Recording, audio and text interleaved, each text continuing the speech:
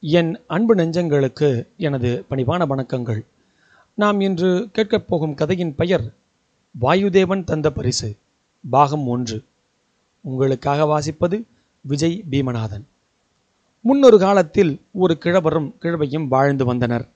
பரம ஏழைகள் ஒரு கூடை கோதுமை தானியத்தை தவிர வேறு எந்த சொத்தும் இல்லை. இந்த தானியத்தை வைத்து நாம் என்ன செய்வது?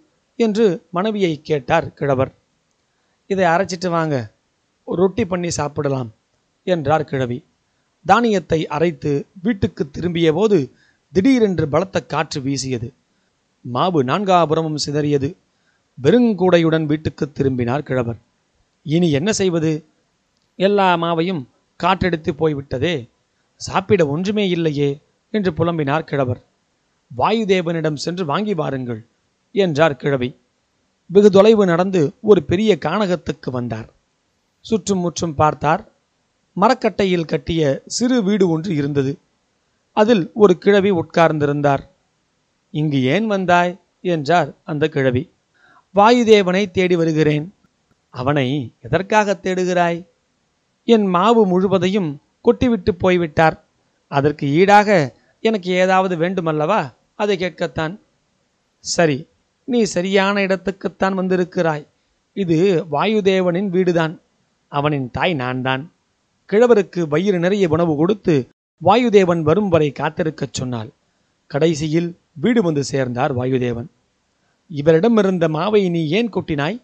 சாப்பாட்டுக்கு இவர் என்ன செய்வார்? என்று மகனை அதட்டினார் தாய். தாத்தா வருத்தப்பட வேண்டாம். உங்களுக்கு ஏற்பட்ட நஷ்டத்திற்கு தக்க பரிசு தருகிறேன் என்று கம்பளம் ஒன்றை கிழவரிடம் தந்தான் வாயுதேவன். இது என்ன? என்று கேட்டார் கிழவர். இது சாதாரண கம்பளம் அல்ல. ஓ கம்பளமே நீ எல்லோரும் சாப்பிடுவதற்கு தேவையான உணவுடன் விரித்துக்கொள் என்று சொன்னால் போதும். விரும்பிய எல்லாவற்றையும் தந்துவிடும் என்றான். அந்த கம்பளத்துடன் வீடை நோக்கி திரும்பினார். சிறிது நேரத்திற்கு பின் வாயுதேவன் நம்மை ஏமாற்றி இருப்பானோ? அவன் சொன்னதை சோதித்து பார்க்கலாமே என்ற எண்ணம் அவர் மனதில் தோன்றியது. ஏ கம்பளமே எல்லோரும் சாப்பிடுவதற்கு தேவையான உணவுடன் விரித்துக்கொள் என்று ஏவினார். அவர் கூறியவாறே உணவுடன் விரித்து கொண்டது. கிழவர் வியப்பால் மலைத்துப் போனார். அவர் விரும்பியதெல்லாம் கிடைத்தது. கம்பளத்தை மடித்து கையில் எடுத்து கிளம்பினார். அன்றிரவு வழியில் ஒரு வீட்டைச் சென்று தங்குவதற்கு இடம் கேட்டார். அது ஒரு பணக்காரியின் வீடு. மற்றவர்களை மோசடி செய்தும் தந்திரத்தாலும் பணக்காரியானவள்.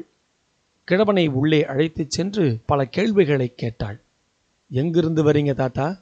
என் மாவு ஈடு கேட்க வாயுதேவனிடம் சென்றிருந்தேன். என்ன கொடுத்தான் அவன்? ஒரு கம்பளத்தை கொடுத்தான். என்ன கம்பளம் அது? மந்திர கம்பளத்தின் ரகசியத்தை கூறினார் தாத்தா. அப்படியா? அதை எடுத்து அந்த அறையில் வைத்து விடுங்கள். யாரும் தொடமாட்டார்கள். அவள் சொன்னபடி அடுத்த அறையில் அந்த கம்பளத்தை வைத்தார் கிழவர். அந்த பணக்கார பெண் கிழவரிடம் எதையதையோ விஷயங்களைப் பற்றியெல்லாம் அரட்டை அடித்துக் கொண்டிருந்தாள்.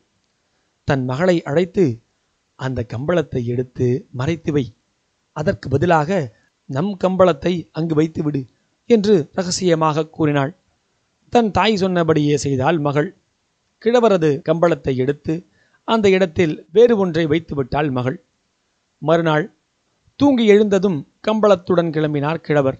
வீட்டுக்குச் சென்று மனைவியிடம் இனிமேல் நாம் பட்டினி கிடக்க வேண்டியதே இல்லை. சாப்பாட்டு மேஜையை வந்து பார் என்றார் கிழவர். தொடரும்.